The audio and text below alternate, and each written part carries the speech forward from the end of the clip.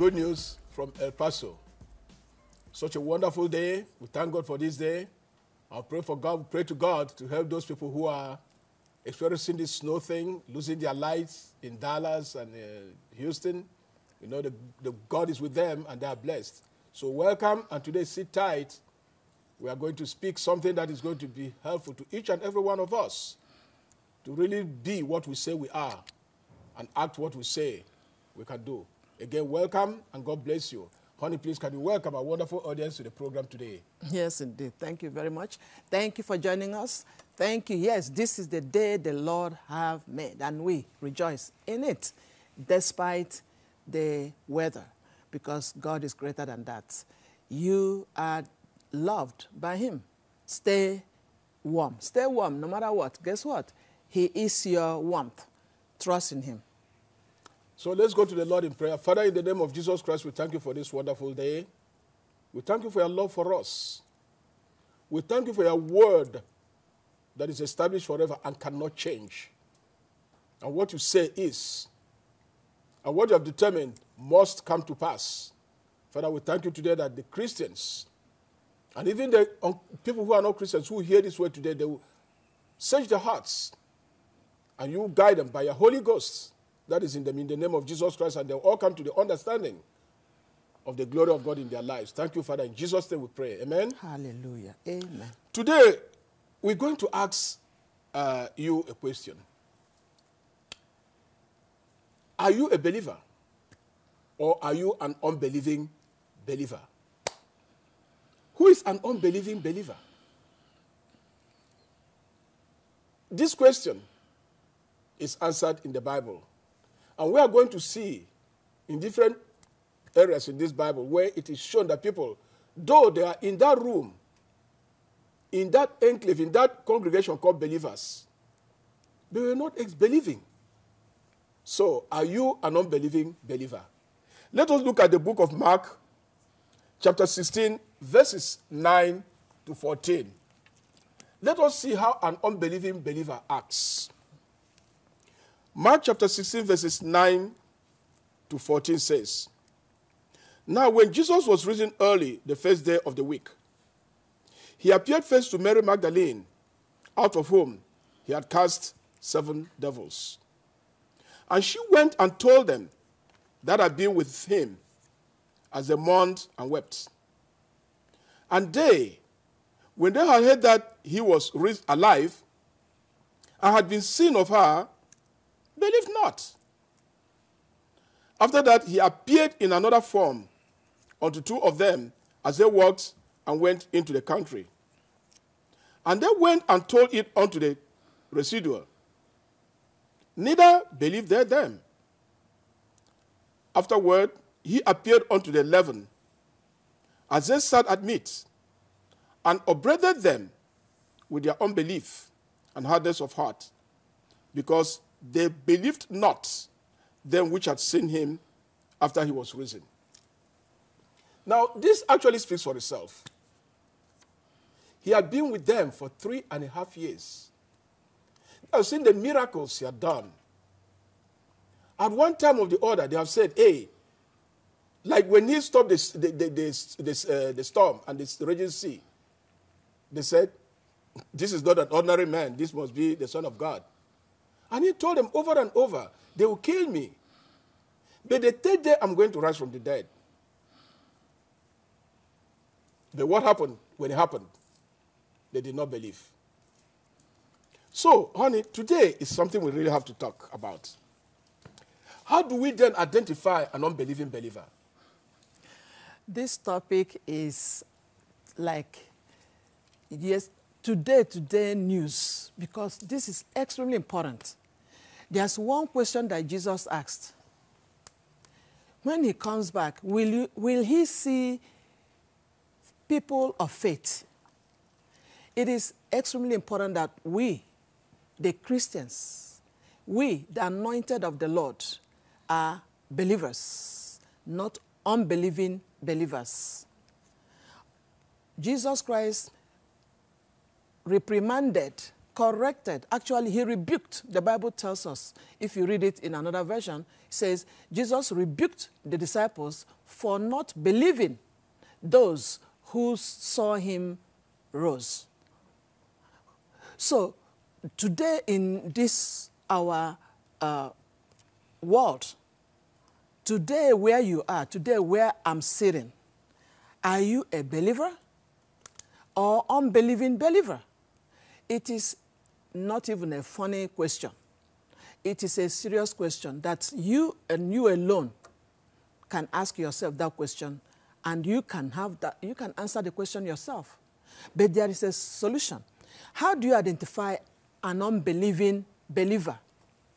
They believe in God, they believe in Jesus, they believe that they are born again. They are, they are children of God.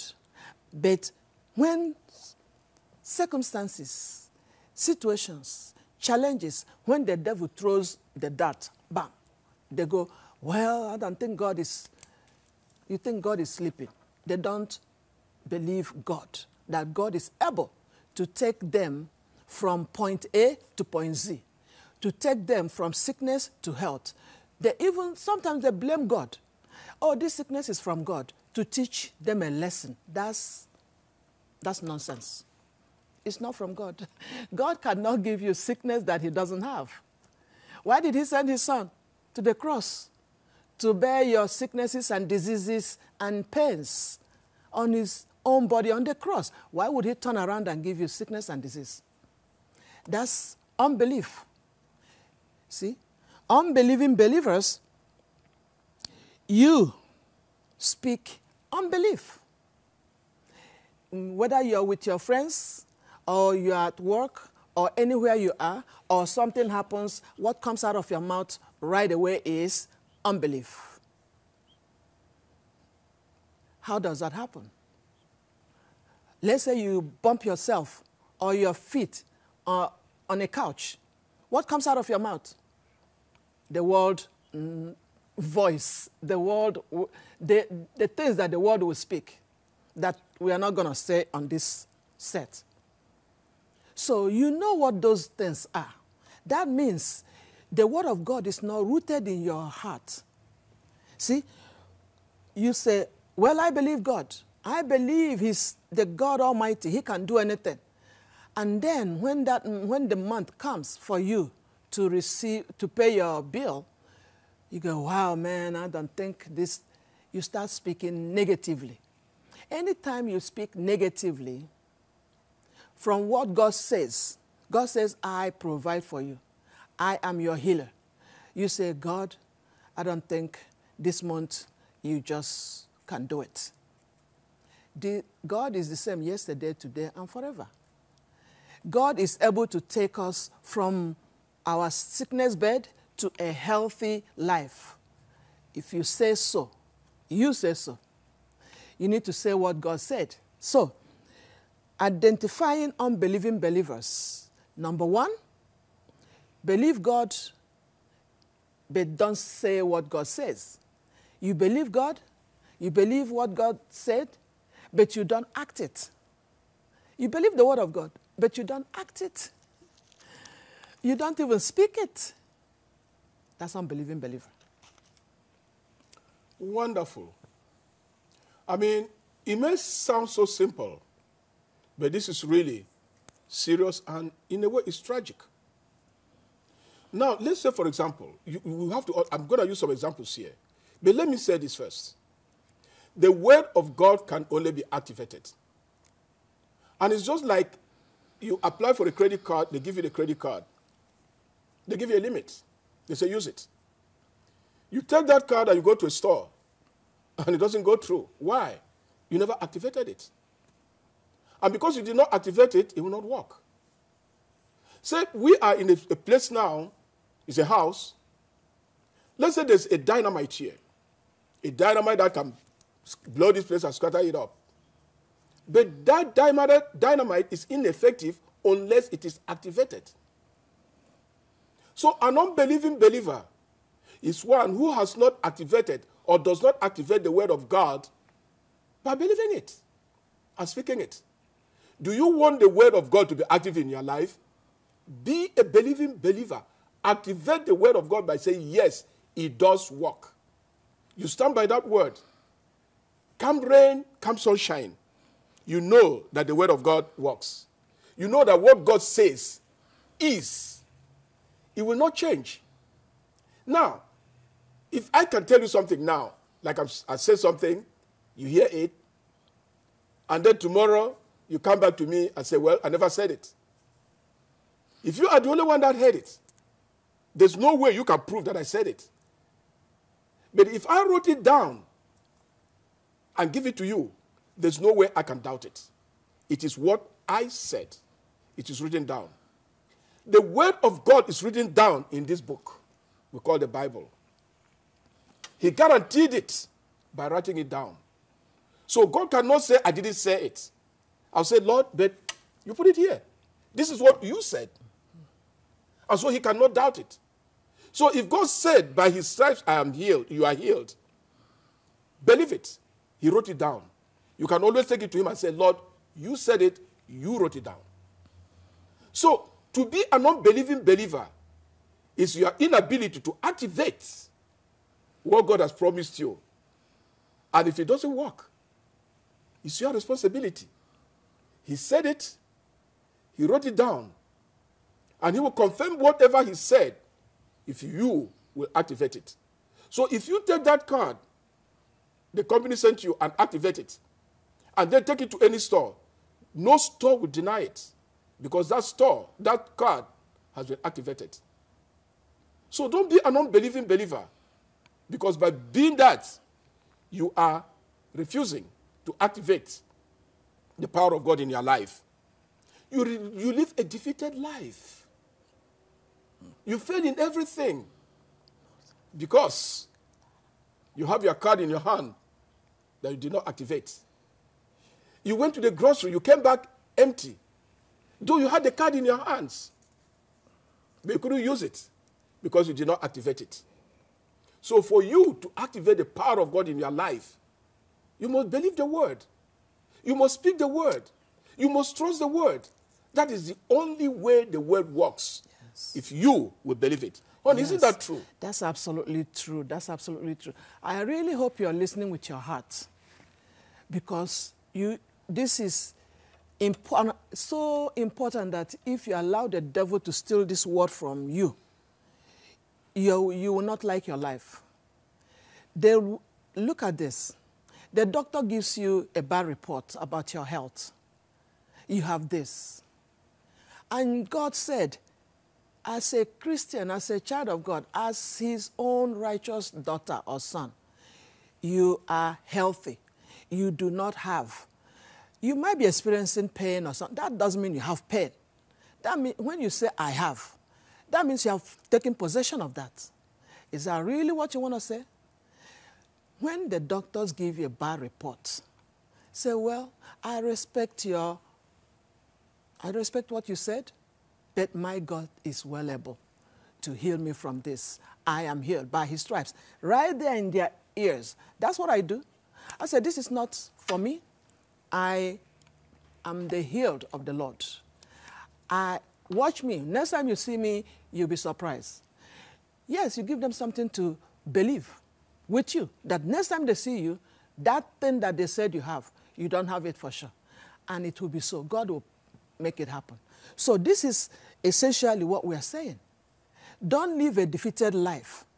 As a child of God, you are not supposed to live a defeated life. Let your heart that you believe God with, now let that word that you believe come out of your mouth. Speak it, declare it over yourself, over any circumstance, anywhere, anytime. Without, why are you ashamed of the gospel of God, of the Lord Jesus? See, a lot of times people are ashamed to say what they believe. Only the Christians will do that. Look at everybody has come out of the closet. So why are we not coming out of, out of we own the world. We don't have to come out of the closet. We are not in the closet. We are the light of the world, the salt of the earth. See, until we start living what we believe, you will continue to be defeated. and the world will keep trampling on, on you. Refuse it. This is not your portion. Very, very good. Let us look at another scripture now before we continue. Let us look at the book of Matthew, chapter 28, um, verses. Uh, no, no, no, I'm sorry, honey. Look at Mark chapter 16, verses 15 to 20. Hallelujah. Mark 16, 15 to 20. What does he say? Okay. And we are now going to look at what happens to those who believe. What did Jesus say? This is the word of Christ Jesus. What did he say to us if we are believers? Listen. And Jesus said unto them, his disciples, Go ye into the world, go ye into all the world, and preach the gospel to every creature. See it? Go and preach. Number one, he that believeth and is baptized shall be saved. But he that believeth not shall be damned, condemned. Ooh. And these signs shall follow them that believe. In my name shall they cast out devils. They shall speak with new tongues. They shall take up serpents. And if they drink any deadly thing, it shall not hurt them by any means. They shall lay hands on the sick and they shall recover. Hallelujah. Excellent. Let, let, let me come in here a little bit. When Jesus gave them that commission, go into all the world, preach the gospel, he told them everything they had to do.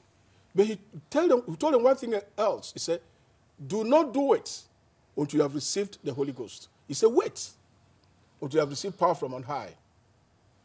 What does that mean? When he said, Go and say it to all the world. Because if that had gone then, it would not have been possible for the world to believe it or receive it. So he had to send the Holy Spirit into the world so that the Holy Spirit has now made it possible for every human being to be saved.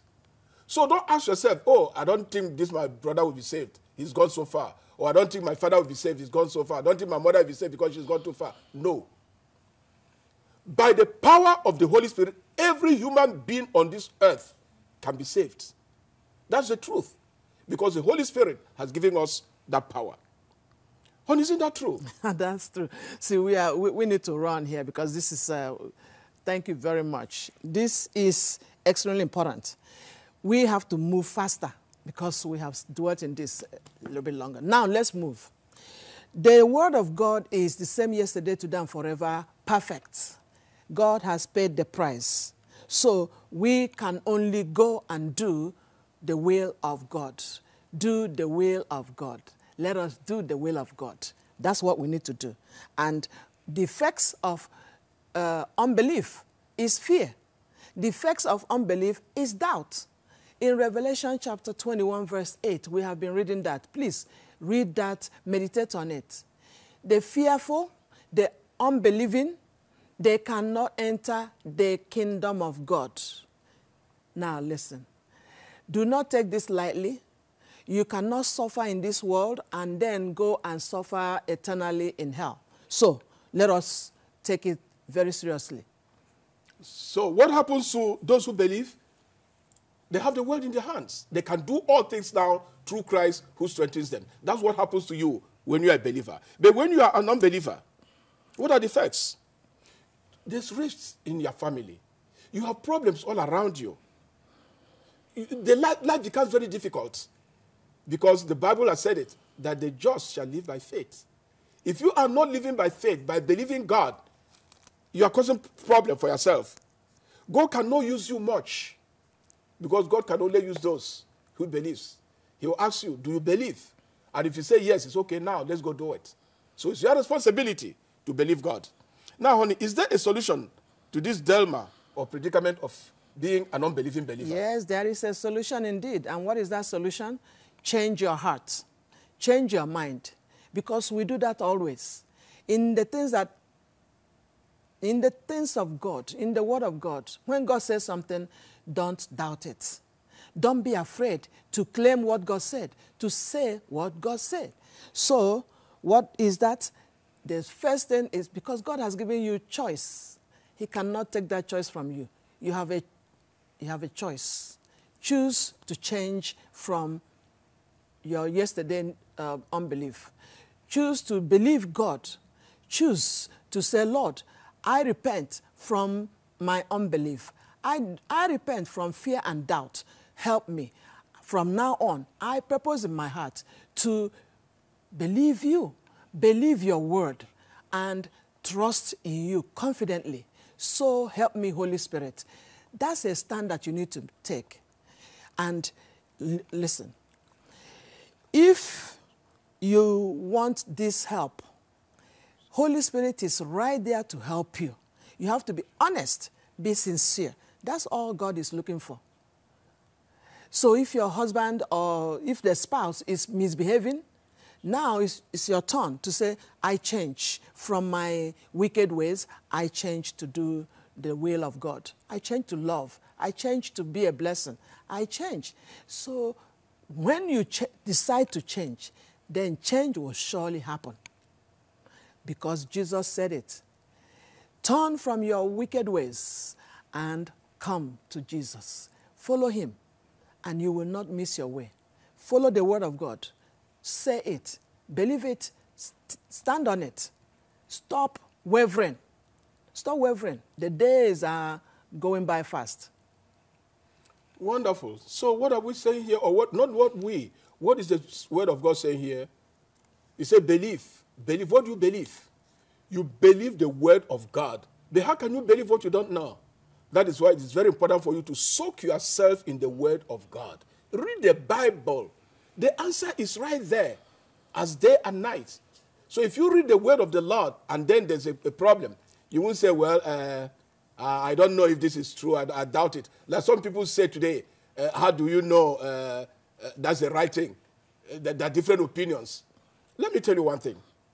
People contradict themselves, but they don't know they're contradicting themselves.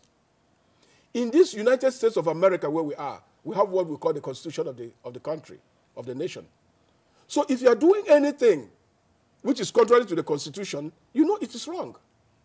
Because the constitution says don't do it, or the constitution says do it. So if you, if you come to that and tell me, well, it depends on the individual's opinion, you cannot come to this country today and tell me that, oh, I'm doing this, it depends on the individual's opinion. No. What does the Constitution say about it? So to you, to say, well, people, every person's opinion, no. What does the Bible say about it? That's what matters. It's not anybody's opinion or, anybody, or what any other person thinks. What does the Word of God say about it? That's what stands. So don't say there are different opinions. No, there are no different opinions. It's what God said. That's what matters. So as a believer, to be effective, you must stand strong, soak yourself in the Word of God, refuse any contradictory evidence. It doesn't matter what is around you. Because the Word of the Lord overcomes. It doesn't matter how concrete the thing looks, the Word of God will change it. If you do what? If you activate it by believing it. That's all it takes. Amen? Activating it and speaking it. Speak the Word of God in confidence that he who is in you is greater than any challenge. He who is in you is greater than any problem. Amen. Now, remember this meditate on how much God loves you. Meditate on that. Close your eyes, block off everything, and just remind yourself God loves me. He that did not spare his only begotten Son, but gave his Son away for me he loves me. He is my health. He is my healer. He is my El Shaddai, my great provider. You need to meditate on how much God loves you. Now, you can say, I love God, I love God, but really, that's, you really don't mean it. If you don't believe that God loves you so much that He does not want you to suffer, then you cannot say you love God. Love your neighbor if you cannot love your neighbor, how can you love God? God is love. Love is the key thing here. Know that God loves you so much. He has paid the price for you to be healthy, for you to be prosperous, for you to be bold, for you to be like Jesus. To be like Jesus. And it is our heritage. Our heritage. Meditate on, on the love of Christ. meditate on that. So we thank God for you today. We thank God that you're hearing this message. We thank God that after hearing this message, you will now be able to activate this word of God in your life by believing it and above all by speaking it. So if you are not a born again child of God, you cannot activate a card which is not set in your name. So if a card is sent in the name of John, John Jones and then Mary uh, Adam picks it up, she cannot activate it because it doesn't belong to her. So only you can activate the word of God in you. The only way you can do it is by accepting Jesus Christ as your Lord and Savior. And we are going to lead you in that night. A very simple prayer. Just say, Dear Father, I know I'm a sinner. But I believe that you took flesh, you came into the world in the person of Jesus. And you died on the cross of Calvary for the whole mankind. For the whole mankind, oh Lord, you say, whosoever. And I have come today to accept this sacrifice that you made. I'm receiving Jesus Christ and I'm declaring that He is my Savior and I'm confessing Him as my Lord. Now, Father, forgive all my sins. Wash me with the blood of Jesus Christ. Give me your Holy Spirit. And by the power of your Holy Spirit, let me be able to activate your word in my life. Father, I thank you. I believe I'm now born again. And I believe I'm now destined for heaven. I give you all the praise and all the glory. If you have said that, you are saved. That's what it takes. Very simple, but powerful. Amen? Amen. And remember, open the Bible and start reading from the New Testament. Read, because readers are leaders. When you read, you know for sure what you have in Christ Jesus. Remember, he said, Jesus said, All power, all authority is given unto me. Go ye therefore. So now you are one of those that will come, uh, that will join the, the mandate. Go ye therefore. Share what God has done for you. Share what the Lord has uh, helped you with. Testify of Him. Testify. And He will never fail you. As you declare Him, you, He will always back you up. So, Jesus Christ, He loves you very much. Yes. He is the same yesterday, today, and forever. Amen. He can never leave you nor Nope. forsake you. He loves you. He loves you, and He wants you to stay fixed in Him Amen. and never be defeated. We love you too. Remain blessed.